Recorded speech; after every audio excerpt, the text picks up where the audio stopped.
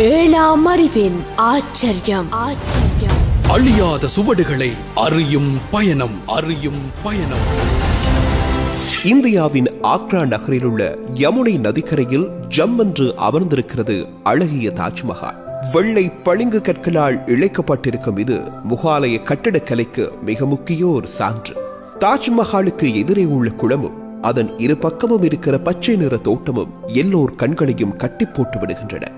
முகாலயம் மன்னர் ஷாஜஹான் தன் அன்பு மனைவி மும்தாஜின் நினைவாக கட்டிய கல்லறைதான் தாஜ்மஹால். ஆயிரத்து அறுநூற்று முப்பத்தி இரண்டாம் ஆண்டு தொடங்கப்பட்டு ஆயிரத்து அறுநூற்று நாற்பத்தி எட்டாம் ஆண்டு கட்டி முடிக்கப்பட்டது. ஆம் பதினாறு ஆண்டுகள் இருபத்தி இரண்டாயிரம் மனிதர்களின் உழைப்பால் உருவானதுதான் தாஜ்மஹால். கட்டடத்துக்கு தேவையான பொருட்களை கொண்டு வர ஆயிரம் யானைகள் பயன்படுத்தப்பட்டிருக்கின்றன.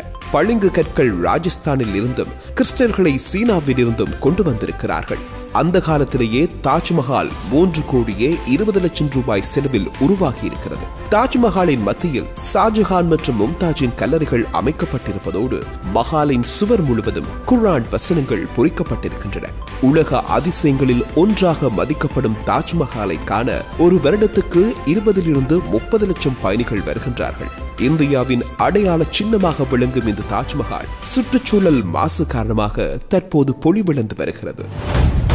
ஏழாம் அறிவின் ஆச்சரியம். ஆச்சரியம்.